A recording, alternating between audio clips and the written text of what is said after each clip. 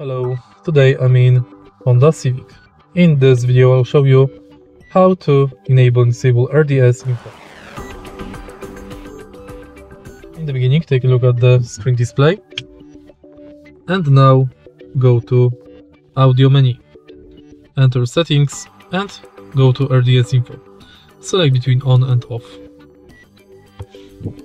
If you find this video helpful, please leave like, comment and subscribe. Thank you.